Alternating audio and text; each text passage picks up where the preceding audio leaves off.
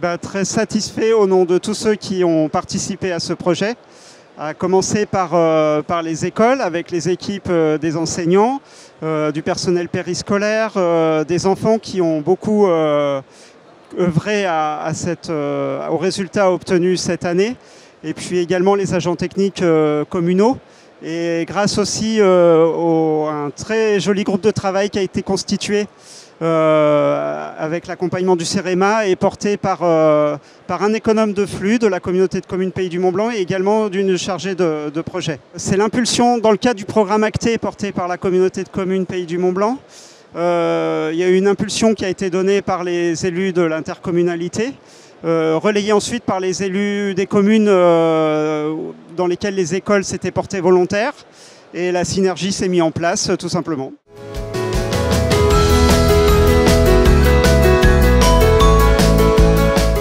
Alors la première chose à travers le groupe de travail commun et les formations euh, reçues, euh, on peut dire que c'est la compréhension que chacun avait une partie de la clé euh, pour essayer de, réduire les, consommations d'énergie.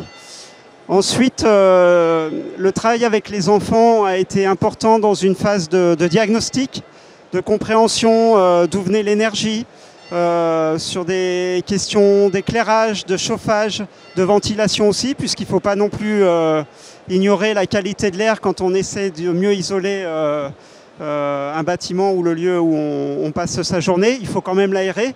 Donc c'est d'essayer de comprendre tout ça et d'essayer de, comprendre aussi quelles étaient les consignes, les objectifs à atteindre et, expérimenter comment les, atteindre.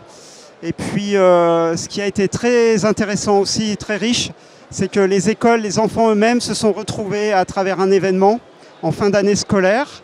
Euh, certains avaient préparé une pièce de théâtre, une bande dessinée, film, euh, chant autour de cette problématique d'économie d'énergie.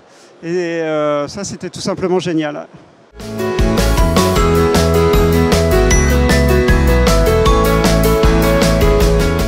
Alors le challenge Cube École est sur 5 ans. Donc euh, la première année avec le challenge et, lui-même euh, permet d'avoir cette reconnaissance et de mais l'enjeu l'enjeu c'est de continuer parce que l'objectif c'est bien tous ensemble de, pouvoir euh, contribuer à, à, poursuivre à améliorer encore les économies d'énergie.